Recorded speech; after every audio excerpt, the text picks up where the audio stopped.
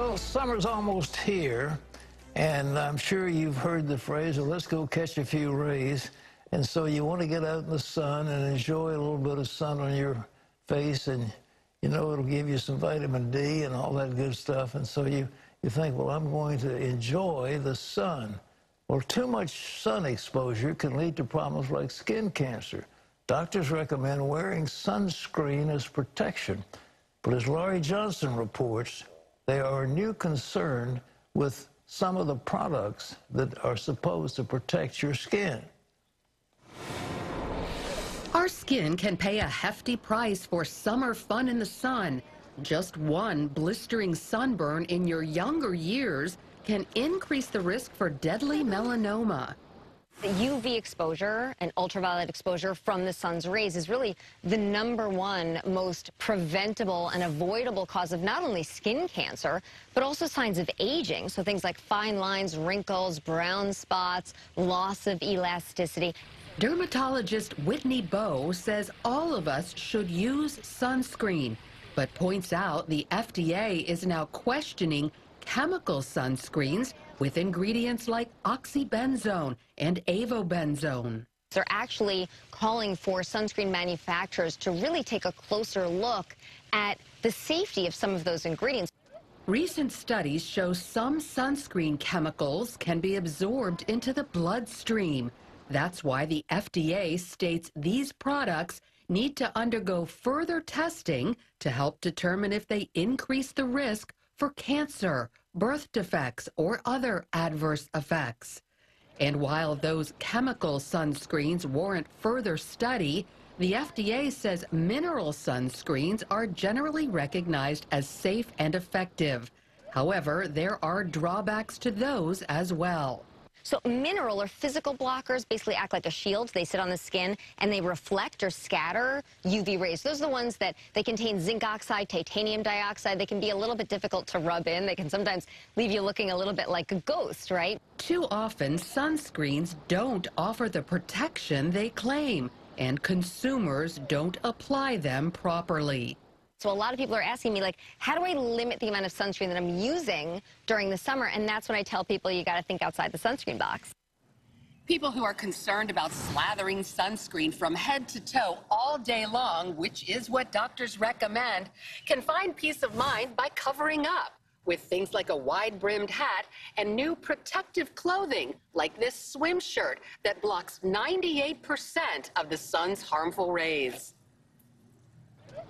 If you do happen to get too much sun that leads to a burn, Dr. Bowe says new CBD products can bring relief. So cannabis, the cannabis plant, has two main compounds that people are familiar with. There's THC, which gets you high, and CBD, which doesn't. But CBD can actually help to dial down inflammation. It speeds up wound healing, and it also has analgesic properties, so it helps with pain. As for that aging look that comes with too much sun, Dr. Bowe explains how to potentially replace collagen in our skin that the sun breaks down. They're basically ropes of protein that keep the skin firm and tight and smooth. And there's this very hot new trend of adding a scoop or two of collagen powder into your coffee, into your smoothie, into your oatmeal showing that if you ingest collagen every single day, it can boost elasticity, hydration in the skin, and even fight wrinkles. Finally, if you choose a sports drink this summer, make sure it's organic and no more than two grams of sugar. But Most sports drinks are loaded with sugar, and sugar causes something called glycation. The sugar molecules bind to the collagen and targets it for destruction. So it's a great way to accelerate the aging process. Dr. Bowe recommends keeping our sugar consumption under 30 grams a day. Oh, what an interesting lady. Lorie's with us now. Hey, Laurie, uh, have you got any reaction from the program we did about uh, that mud you put on you? the mud. Yeah. It's, it's the bacteria right. that is found right. in dirt. Right. It's called mother dirt. Mother dirt. And everybody's loving it because it makes perfect sense. The bacteria that's in the dirt we're no longer yeah. getting on our skin because who's out in the dirt anymore? I did a big program about it. I mean, have you seen a lot of people that said we had a, they were spraying those bacteria with that spray. That's right. And you spray the actual live bacteria on your body. It's called mother dirt. Right. And it eats up your sweat. and the byproducts are very, very good for you because it helps to fight the bad bacteria and it helps prevent against things like acne, rosacea, eczema, psoriasis, Wow. premature aging, and sensitive skin. And then again, we've got to remember not to kill the good bacteria on our skin with those awful antibacterial soaps. Just regular soap is good. Now, don't go to the extreme and, and not bathe. we want to be clean. We don't want to be sterile. Yeah, I That's the difference. Well, now we're talking about sunscreen. Uh, again, that woman was talking about the, the product of uh, marijuana that was good. Right. Well, what, what are you supposed to do? What's wrong with the, with the sunscreens that we've got? What are the bad Well, they're not really sure that anything is wrong, but there's a huge question mark. They found out that the chemical sunscreens, which contain chemicals like oxybenzone, actually sink deep, deep down into our skin, into our bloodstream. And so now the FDA says, hmm, this is a problem. We didn't think that they went that deep. Sunscreen manufacturers, I'm going to give you till November to prove that these ingredients are safe. So we don't know whether they're safe or not.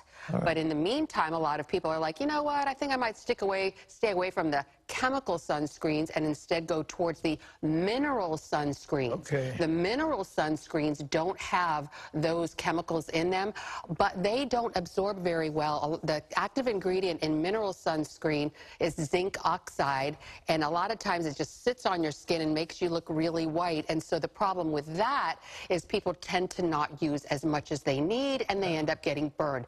The amount that you need is the amount in a shot glass. That's- Now, I realize a lot of our good Christian viewers have no idea what a shot glass is.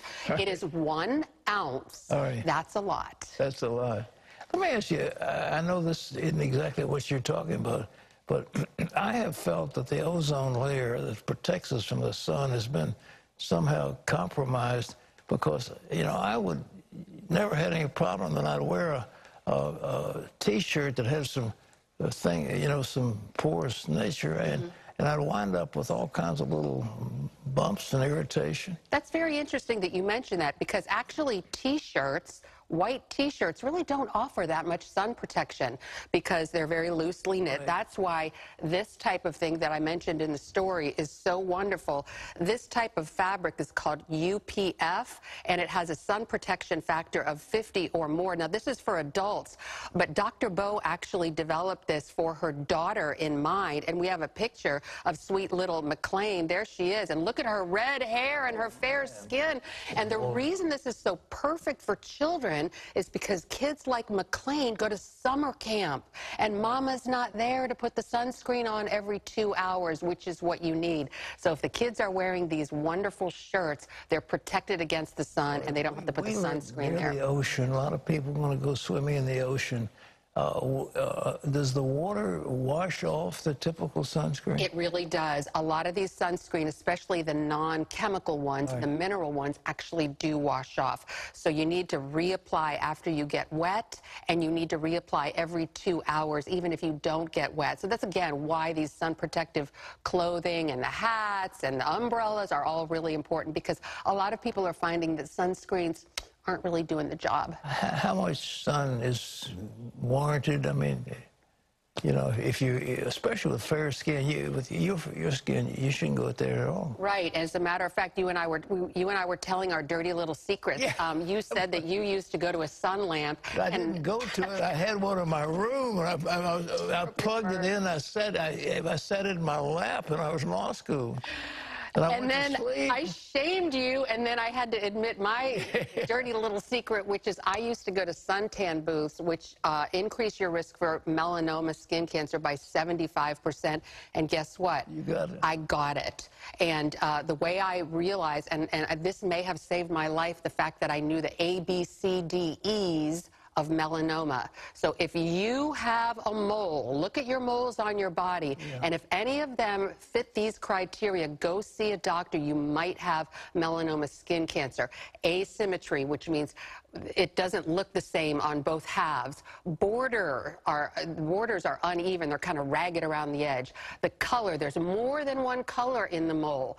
Diameter, bigger than the um, than the pencil eraser, which is about a quarter of an inch, and evolving. This is the one that fit my situation was it changes. And I had a mole on my back, and I noticed it was getting bigger.